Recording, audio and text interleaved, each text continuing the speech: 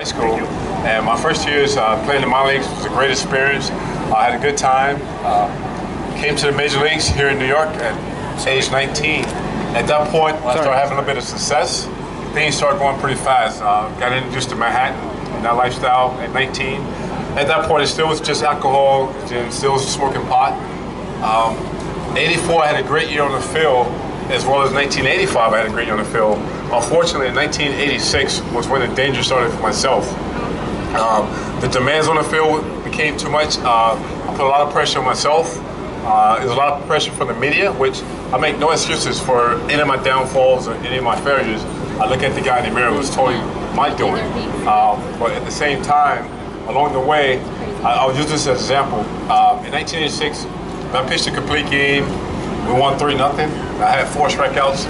The first question would be, what happened? You only had four strikeouts, That opposed to the complete game. So after that, uh, drinking increased a lot. Um, I went home. I got introduced to cocaine for the first time. And again, uh, I have a very addictive personality where when I tried it, I felt I thought it was the, the way I wanted to feel, the way I was supposed to feel, and fell in love with it. Unfortunately, along that way, my numbers on the field went down. Uh, there's a lot of failure in my life. Uh, missed a lot of my kids' birthdays that I can't get back. Uh, and one of the things that kept me sick for a long time was carrying the, the guilt and embarrassment around for missing the birthdays, missing the school activities. Uh, my numbers on the field obviously started going down. Even though I wasn't using when I was playing, but the use I was doing off the field and the heavy drinking I was doing on the field caused a lot of that because my work ethic changed. While I approached the game, I still love the game, but it, it was changing inside because your body just don't respond as quickly as it will, if, you know, if it's clean and sober.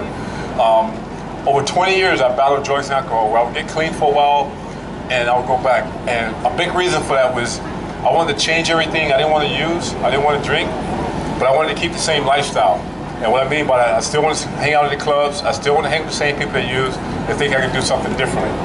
But every time, it's just a matter of time before it caught up with me. And each time that I went back, it wasn't starting over. I was starting from where I left off. And it just got worse and worse. Unfortunately, I found myself being incarcerated, which was a tough, very tough time for myself.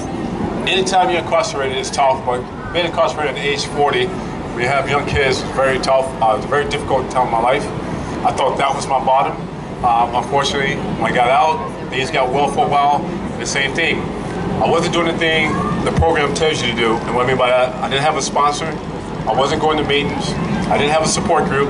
It was just myself living. So basically, I was a time bomb just waiting to happen. Um, I got married for the second time in 2009.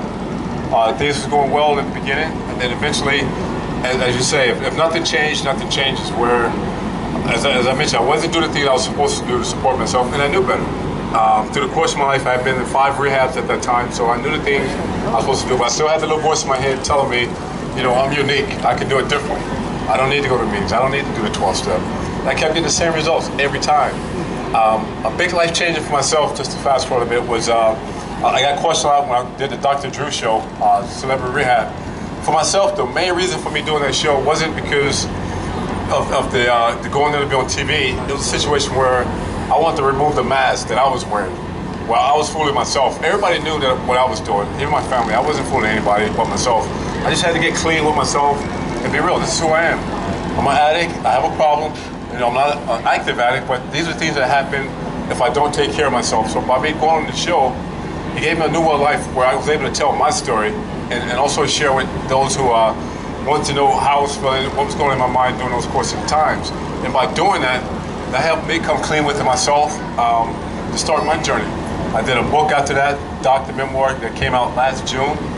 Um, a big thing where I just shared my whole story. It was very tough to do, relive some of those moments, but you know, your, your secrets will keep you sick. Um, so I had to, if I was gonna come clean, I had to come clean with a lot of things. And once I got the okay from my older kids, I have adult kids, and my mom, if they was okay with that and reliving those moments, they gave me my blessings to do. And then so I did it. By doing that, was great therapy for myself. Um, March 11th of this year gave me three years clean and sober by the grace of God.